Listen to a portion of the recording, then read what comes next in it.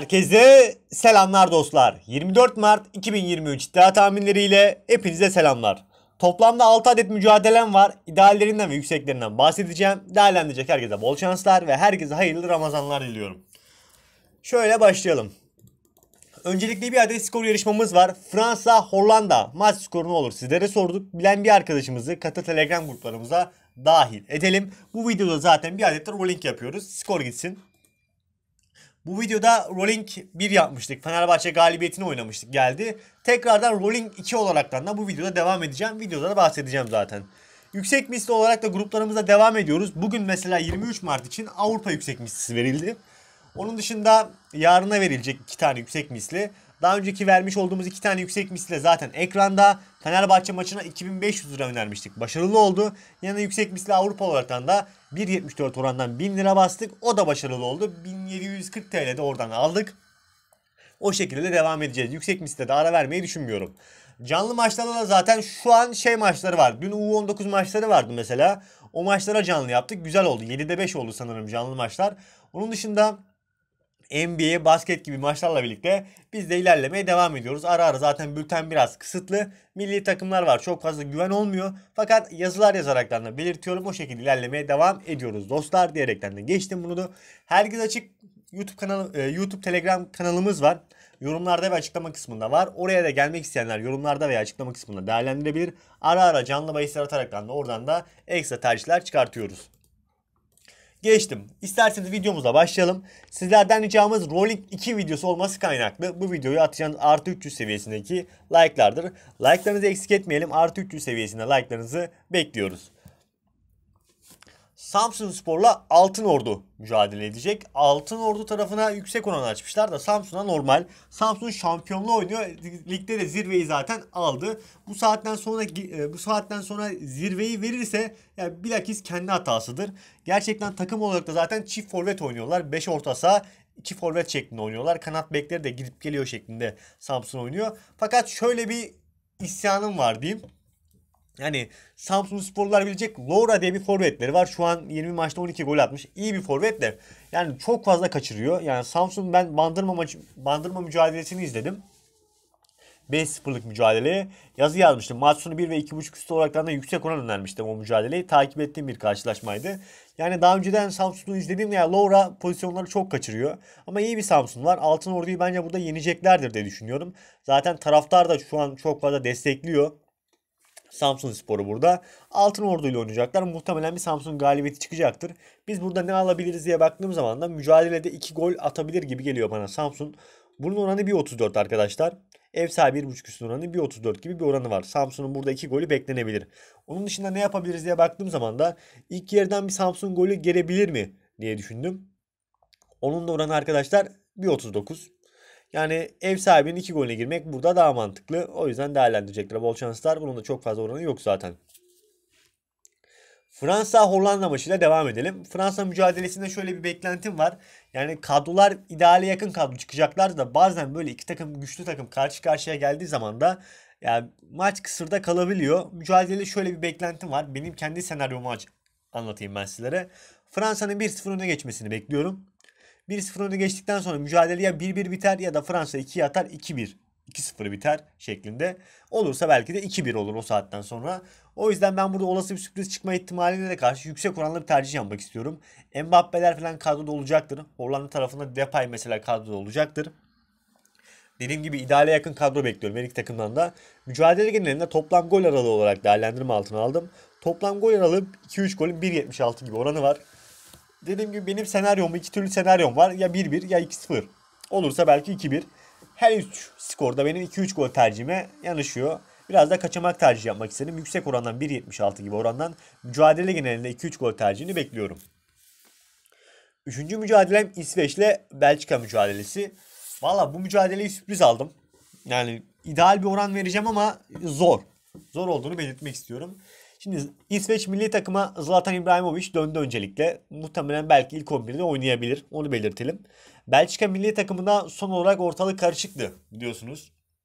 Yani Vertonghen Kevin De Bruyne'e laf ediyor. Kevin De Bruyne takıma laf yapıyor. Bu şekilde Belçika'da ortalık bir karışıktı. Burada Belçika elinden geleni yapacaktır. Yani ideale yakın kadrolu Lukaku'lar falan oynayabilir. Fakat İsveç'in ben bu maçta yenileceğini düşünmüyorum. Yani zor bir tercih. Ben burada bir olası beraberlik bekliyorum. Doğrudan maç sonu 0 olmak 0 isteyenler 2.97 gibi oranı var. Bu yüksek orandan önerimdir. Onun dışında dediğim gibi İsveç'in ben burada yenilmesini beklemiyorum. 0-1 çifte şansın oranı 1.42. Yani yenilmesini beklemediğimden sebeplerinden başlıca sebebi şu. İsveç'te İbrahimovic'in dönmesi, iyi karşılanması ve son dönemlerde iyi futbol sergilemesi. Belçika'nın da tam tersine son dönemlerde Dünya Kupası'nda olsun takımda bir huzursuzluk olması, uyumsuzluk olması, iyi oyuncuların kendini oyuna vereme, verememesi, iyi oyun sergileyeme, sergileyememe. Belçika'nın sorunu bu. Bir de dediğim gibi oyuncular arasında da sıkıntı oldu. Kimileri milli takımı bırakıyorum dedi. Oynamayacağım vesaire dedi. Kimileri kamptan ayrıldı. O şekilde Belçika'da sıkıntı vardı. Ben burada İsveç'in burada 0-1 çıktı şansını idealden yüksek oranlarla mücadelenin bir beraberlikle sonuçlanmasını bekliyorum. Sisteme atacakları önerilir. Gelelim rolling mücadelemize. Rolling mücadelem burada Fenerbahçe Beko'nun mücadelesi. Şu an iddia oranları açık değil fakat Avrupa'da açık. Ben Avrupa'ya bakaraktan zaten videonun sonunda bir yazı koydum. Şimdi Fenerbahçe Beko Euroleague'de iki maçtır yeniliyor arkadaşlar onu belirteyim. İlk 4 şansı var mı? Var. İlk 4 şansı var. Monaco'nun ve Barcelona'nın kayıplarına bağlı. Toplamda 5 adet mücadele kaldı sanırım. Fenerbahçe Beko'nun. Zalgiris'te oynayacaklar ve Zalgiris'e karşı son mücadelede 20 sayı fark yiyen bir Fenerbahçe Beko vardı. Tekrar kendi evlerinde oynayacaklar. Fenerbahçe Beko'da biraz sıkıntı var. Mücadele eksikliği var ve yani koç bilmiyorum. Yani değişir muhtemelen bu sezon sonu diye düşünüyorum. Çünkü taraftar memnun değil. Ve ayrıca Ülker Stadyumunda taraftarlar yeterince kadar destekleyemiyor bence. Ki zaten e, televizyondan izleyen taraftarlar da bunu bilakis yorumlarda falan her yerde sosyal medyada belirtiyor. Fenerbahçe Beko'nun bu maçta mutlak galibiyeti lazım. Öncelikle onu belirtelim. Zalgiris tarafında skorer oyuncuları zaten yok. Fenerbahçe bence burada kazanır. Fenerbahçe kazanan oranı burada yok. Onu söyleyeyim. 1.05, 1.10 gibi oran olacaktır. Burada Fenerbahçe'yi Avrupa'da 83.5 üst açmışlar. Yani bu demek oluyor ki Nesine de 80 veya 81'den başlar gibi geliyor. Ev sahibi burada 80-81 üst olaraktan da ben rolling olarak değerlendirmesini aldım. Fenerbahçe Beko'da son maçta mesela Tarık Biberovic hakkında e, çok zorladı yani. Koç adam skor üretemedi. Üçlük denedi. 4'te 0 yaptı mesela. Koç ısrarcı oldu. Bazen ısrarcı olmamak lazım. Biraz daha akıllı oynamak lazım. Çünkü yumurta artık sona dayandı. Bu maçları kaybetmemek lazım. Fenerbahçe'nin atacağı sayıya, sayıyı bekliyorum ben burada. 81-82 sayı dağılımında Fenerbahçe atar gibi geliyor bana. Bol şanslar. Sırbistan maçını atlamışız. Hemen Sırbistan maçını da anlatalım. Sırbistan maçında da ben mücadelenin Sırbistan tarafından üstünlükle geçmesini bekliyorum. Sırbistan burada kaliteli kadrosuyla birlikte Litvanya'ya karşı üstün gelecektir ki zaten taraf oranı açmamışlar bile. 3 handikaptan açmışlar. Mücadele genelinde 2.5 üstün oranı idealdir. Oranı fena düşürmüşler bu arada. Ya bir 38 bandında bir oranı vardı. 1.27'ye kadar oran düşürmüşler. Bunu boş verin. Ben geceden not almıştım. Oranı sabaha ne kadar düşürmüşler. Şöyle yapalım. Ee, Sırbistan'ın her iki yarıyı kazanırın şurada bir oranı var. 1.60 bandında. Bunu not almıştım. Bunun oranı yüksekti de 1.60'a düşmüş. Sırbistan burada ilk yarıyı kazanır. Bence ikinci yarıyı da kazanır. Zaten Vlahovic, Mitrovic gibi isimlerle birlikte kaliteli bir kadrosu var. Solda Kostic oynar muhtemelen. Dediğim gibi Lazovic, Lazdic gibi isimlerle birlikte çok kaliteli bir kadrosu var. Litvanya'ya karşı üstün gelecektir. Bence her iki yarıyı Sırbistan kazanan oranı şu an 1.60. Ev sahibi 2.5 üstü oran açmışlar mı ya? Onun da oranı 1.43. Yani bu da bu da idealen alınabilir. Sırbistan tarafından 3 gol beklenebilir bu mücadelede. Son mücadelem Partizan'la Olympiakos mücadelesi. Bu mücadeleyi şöyle değerlendirme altına aldım. E, Partizan kendi evinde skorer bir takım. Savunmayı çok fazla öne çıkarmayan takım. Zaten Lesort var bir o iri olarak o yapıyor savunmayı. Tek başına zaten Olympiakos'u geçiremez. Olympiakos sayı atacaktır.